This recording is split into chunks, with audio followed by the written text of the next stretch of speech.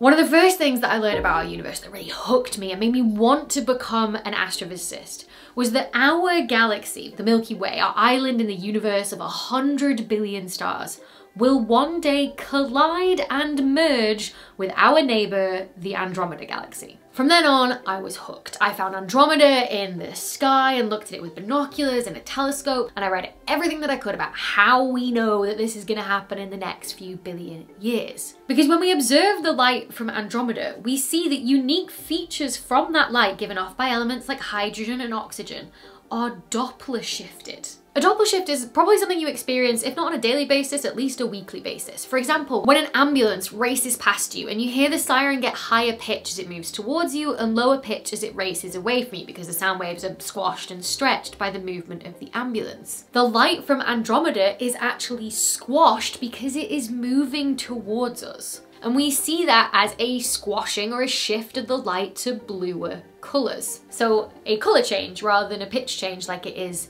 for sound. And from that, we can measure that the Andromeda galaxy is moving relative to us here in the Milky Way at 301 kilometers per second towards us. So that means a collision with the Milky Way must be imminent in around two and a half billion years or so once we close that 10 billion billion kilometer gap between us. Right? Turns out, maybe not. This paper by Sawala and collaborators was published earlier this month claiming there's actually only a 50% chance that the Milky Way and Andromeda will merge in the next 10 billion years. And it all seems to depend not on Andromeda, but on some of our closest other neighbor galaxies, the Large Magellanic Cloud and the Triangulum Galaxy. So in this video, we're gonna dive into all the details on this study. First, about the galactic members of our backyard group of the universe. Second, the simulations that were run by Sawala and collaborators. And finally, what has the biggest influence on whether the Milky Way and Andromeda will merge? Now, while we might not be traveling to Andromeda anytime soon, you might be taking a trip this summer, either for fun or for work, like me on the classic academic summer conference circuit. Now, if you have ever badly needed an internet connection while you're in a foreign country, you know, for work or because, let's face it, you're just lost in a city somewhere, you'll know how annoying it is when you just don't have access to your data like normal and the huge difference that just having a local like SIM card can actually make.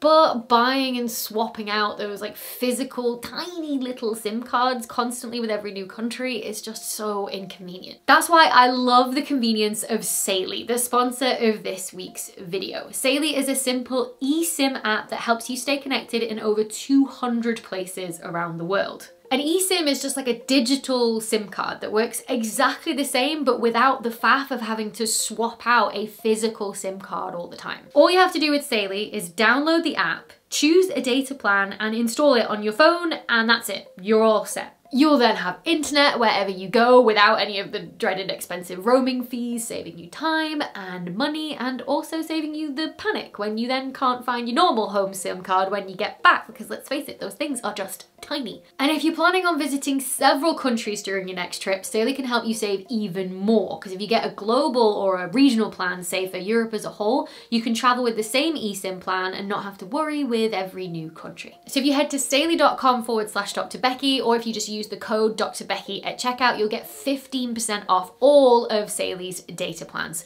So download the app before your next trip and thank me later. So big thanks to Saily for sponsoring this video. And now let's dive in and chat first about the galactic members of our backyard of the universe. So first of all, the sun is just one star of over a hundred billion stars in our galaxy, the Milky Way, which is a flat frisbee shape. We are out on the edge of the galaxy in a spiral arm.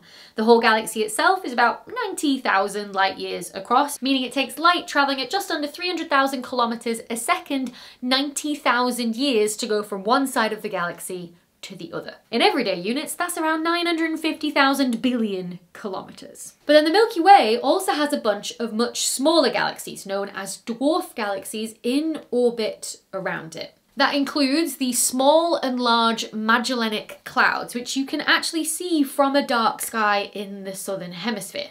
The Large Magellanic Cloud is 32,000 light years wide with 30 billion stars, so around about a third of the size of the Milky Way, and it's around about 163,000 light years away. And all of these dwarf galaxies in the Milky Way are part of what's known as the local group of galaxies, a clump of galaxies that are closer together than what you would typically see, so much so that they are gravitationally bound together, meaning their movements are more dominated by the gravitational force forces between them than they are by the expansion of space that's happening between them.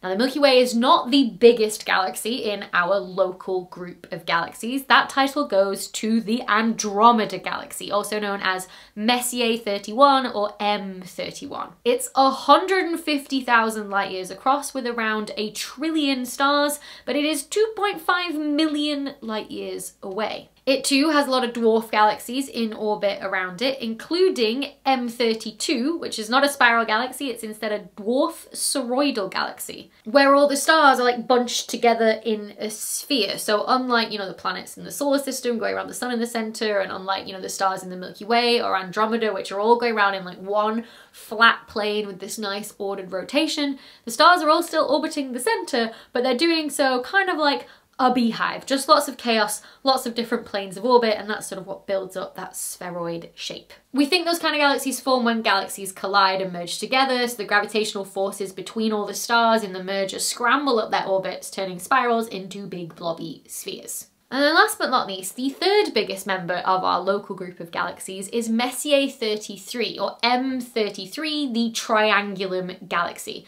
which is about 3 million light years away, 60,000 light years wide, and contains around 40 billion stars.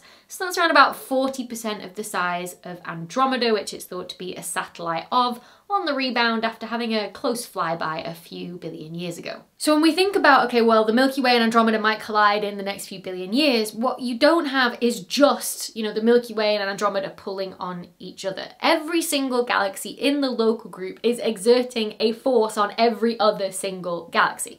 Obviously, the bigger the galaxy, the greater that force will be. So if you're trying to run a simulation where you sort of like press fast forward on time to see what happens in the future, to see if the Milky Way and Andromeda merge and see what happens to all the other galaxies in the local group, it's not just like a, a two body problem between the Milky Way and Andromeda, it's more of an 80 body problem if you include all the galaxies. Which brings me to part two, the simulations that Sawala and collaborators ran. So to do this, to run these kind of simulations where you're like pressing fast forward on time, Sawala and collaborators first had to get the most precise and accurate measurements available for each galaxy's mass and position and velocity, but also, you know, how their stars are distributed and spread out around the galaxy, whether they're more centrally concentrated like for Andromeda versus more diffuse like for the Large Magellanic Cloud. And thanks to efforts with the Hubble Space Telescope and with the European Space Agency's Gaia mission, we have that data for these galaxies. Albeit with some measurement uncertainty, but we can then use those as inputs to the simulation to press play and fast forward and then see what happens as those forces on the galaxies change over time as well. Not to mention the sheer amount of computing power that would be needed to do that. Sawala and collaborators just focused on the four largest members of the local group.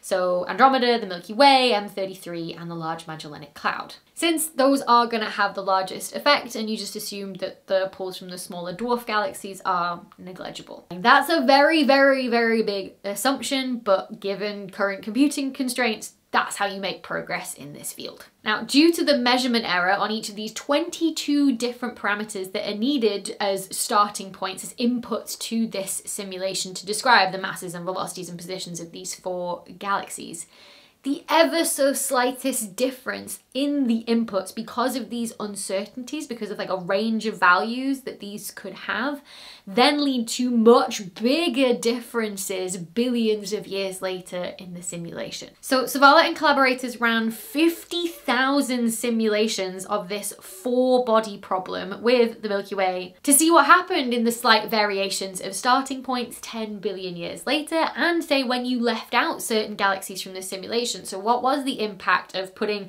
M33 in the simulation versus leaving it out and for the Large Magellanic Cloud as well. So here you can compare the positions, so where the Milky Way and Andromeda ended up in space after 10 billion years when you leave out M33 and the LMC on the left hand side and include them in your simulations on the right hand side. This plot just shows a hundred different possibilities which are drawn randomly from all of the simulations that were run and the white dots show the situations where a merger between the Milky Way and Andromeda actually happened. That exact same data is also in this plot as well that shows the distance between the Milky Way and Andromeda on the y-axis in the same two scenarios, again with these little white triangles at the bottom showing the simulations where the merger actually happened. So you can pick a track and follow it through time and see either the two galaxies will come close together and then fling back out again, or perhaps come close and then swoop back in for the merger, or have a few close passes before the merger eventually happens. These percentage values in the bottom left corners tell you how many simulations actually ended up with the Milky Way and Andromeda merging before the 10 billion years was up, with just the two body problem is only 44%, so just under a 50-50 chance that the two galaxies will actually collide. But including all of the four heaviest galaxies in the local group, that number goes up to 54%. Which brings me to part three what has the biggest influence on whether the Milky Way and Andromeda will actually merge? Because Sawala and collaborators also ran their simulations to test what would happen if you put in M33 but left out the Large Magellanic Cloud, or you put in the Large Magellanic Cloud but left out M33. And you can see that by adding M33, the percent chance that the Milky Way and Andromeda will merge goes up to 63%, whereas adding the Large Magellanic Cloud but leaving out M33 drops the chance to just 37%. So what is going on here. So once again, Sawala and collaborators looked at sort of like the positions in space that the Milky Way and Andromeda would be in in this scenario where you put one of these smaller galaxies in but leave the other out. And as expected, M33 doesn't have much of an effect on the position of the Milky Way because it's so much further away at 3 billion light years. But the Large Magellanic Cloud changes things a lot more. Conversely, if you look at the position of Andromeda, the LMC doesn't affect Andromeda that much. But Andromeda is affected by the much closer M33, which again just makes things a little bit more chaotic in its path. And in particular, what's going on here is that the effect that M33 is having on Andromeda is that it is slowing it down with respect to the Milky Way. Whereas the LMC is actually speeding up the Milky Way relative to Andromeda. And this is what affects the chance of the merger. Speed up their relative velocities and they'll absolutely fly past each other and are less likely to merge but slow down their relative velocities, then gravity's got a much better chance of being able to slosh them together so that they eventually merge. And it's also worth saying that all four will eventually become one galaxies, because Sawala and collaborators find that LMC is likely to merge with the Milky Way and M33 with Andromeda before any Milky Way Andromeda merger happens. So what does this all mean for that thing that I feel like a lot of us just take for granted, this statement of the Milky Way will merge with Andromeda one day? I think at the minute there's just too many sources of uncertainty in our data to say for sure. As better data comes out from the Gaia mission tracking the positions and velocities of stars in the Milky Way and the Large Magellanic Cloud, and with even more observations of M33 and Andromeda with the Hubble Space Telescope, and JWST, and maybe even Roman once that launches, we can hopefully reduce those uncertainties to reduce the uncertainties later on we run the simulations and get a clearer picture for what could happen. But a substantial amount of work is needed before we get to that point. And as Sawala and collaborators put it, as it stands, proclamations of the impending demise of our galaxy seem greatly exaggerated. One of the first things that I learned about our universe that really hooked me and made me want to become an astrophysics. Astrophysics? Made me want to become an astrophysics. Makes no sense. Well, you know what I say, space is hard, words are harder. So to do this, to run these kind of simulations where you press fast, press fast forward, press fast forward. And JWST and maybe even Rubin once that launches. Not Rubin. And maybe, but Rubin, I meant, what did I mean? Uh, Roman, that's what I meant.